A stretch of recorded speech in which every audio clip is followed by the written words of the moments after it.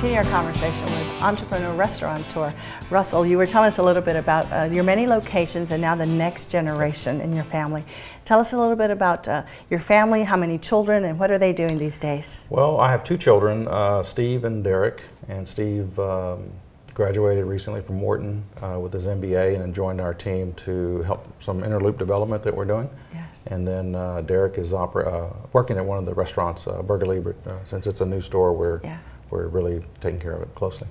So tell me a little bit about growing up. Were you always uh, in mind in your mind thinking that you wanted to run a restaurant, become an entrepreneur? You come from a family of entrepreneurs and restaurateurs.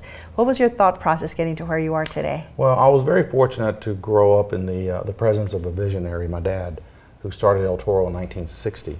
And seeing the things that he did, uh, he was really bef- uh, ahead of his time. Uh, he had traveled to Mexico in the 70s to buy an avocado farm, and they didn't allow avocados to be imported from Mexico to the United States back then, but they, they are now, of course. And uh, saw him almost buy a jalapeno plant, and he had a he developed a central kitchen where he did some of his processing. And uh, so I, I, I learned a lot just by watching the things that he was doing back in the 70s. And, uh, and then I got my opportunity in, in the 90s to open up my first restaurant. And, uh, but I'm very grateful for, to, to my dad. Yes. So let's talk about uh, you know as you were growing up and, and working. What was your first you know your first paycheck? What did you do to earn your first Uh, paycheck? believe it or not, making tamales. Yeah? Yeah. Uh, What kind? Pork or chicken? Pork, pork, uh, pork, of course, pork. Uh, but yeah, back when I was just a young, uh, probably 12 or 13 years old, I would uh, go to the commissary. They would make tamales every week, Uh-huh. and I would be there and, uh, taking them off the conveyor and, Mm-hmm. and just wrapping them.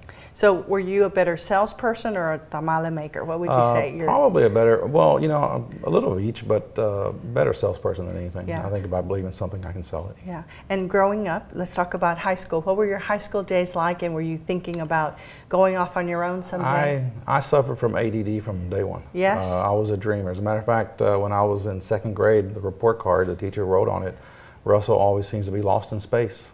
And uh, I just always dreamed, I guess. Yeah. And, and that's why, uh, fortunately, I think that's why where we're at today, because I do, I do enjoy dreaming about the possibilities. Yeah, and for, for your children, growing up in your family now and seeing your success, you know, what do you hope your legacy will be for your children?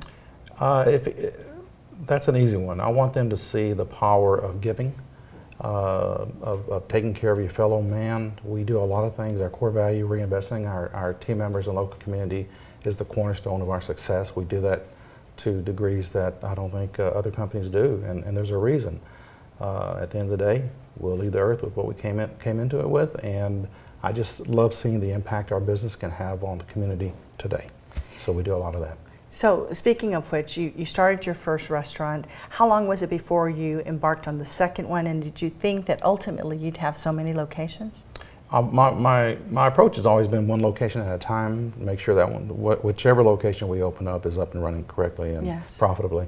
But uh, yeah, we uh, always knew that the life I wanted to live was not going to be able to be done with one unit or two units or three units. So, but it's just kind of created its own momentum because of the success that each location has had to where, you know, you we, we have to grow. I mean, we almost have to grow.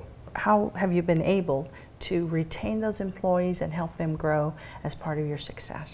Well, they see that um, that we back our, our words with action, and, and they're just not uh, words on a wall, printed on a wall. We really do help our uh, our, our team members to uh, and, and to incredible levels. One, for example, is we've done some we've done probably 14 complete dental makeovers, which uh, is very life changing, as you can imagine. And, and it's beautiful to see a person come out of the shell that was that you never saw before.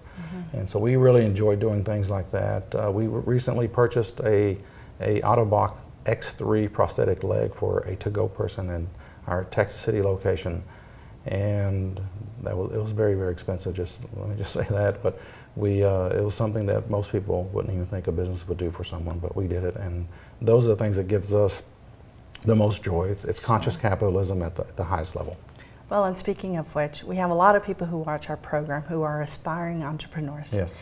Uh, what advice would you have for them as they perhaps are launching or perhaps are already in a business and, as you know, just struggling to make that payroll? You know, uh, when, when I opened Gringos in 93, there wasn't Google, so I didn't have access t- like they do at their fingertips to really research anything. But I would find the, the, the best example of what they want to become and go study that person, go study that company.